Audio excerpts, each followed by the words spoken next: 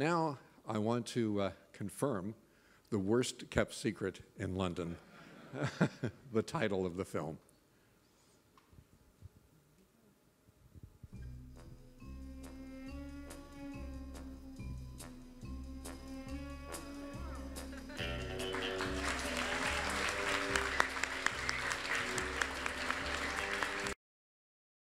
Strangely, it wasn't frustrating because there's really nothing I could do about it. It was, uh, it was a financial issue, and uh, I could just, I just had to let them get on with it. Um, and I was just fortunate and lucky enough to sort of go off and be able to go off and do some other projects. So I kept myself busy. Um, um, it's kind of been frustrating, funnily enough, over the past three months because now everything's ready, and we're, we're uh, you know, I'm just, I want to get going. That's all. Uh, who told you that a villain is a bad person? uh, misunderstood. Exactly. for me, it's an honor to be in this table for many reasons. First, because of the background story that Bond has on me.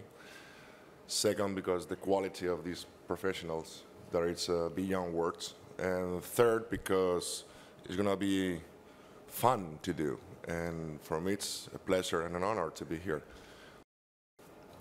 I, when I got the, the auditions, it took me a few days to realize that I was finally part of it, and I'm absolutely excited about, about it.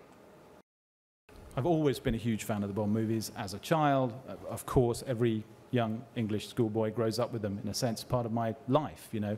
And I vividly remember the first time I saw one of the Bond movies, which was Live and Let Die, and the impact it had on me. When Barbara and Michael and Daniel came to me, uh, I thought the story was fantastic. I love Daniel, I love Judy, and I wanted a huge challenge. And for me, this was an enormous challenge, and one I'm extremely pleased that I've taken thus far. It has some uh, emotional context, which will be revealed in the film. You have to wait and see.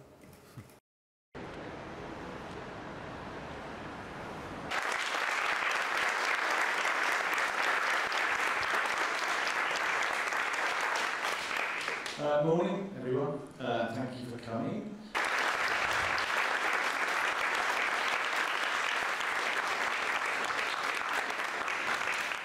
And second, uh, homegrown actress who will be familiar to a lot of you already, uh, the wonderful Naomie Harris Ian Fleming's 007, Daniel Craig.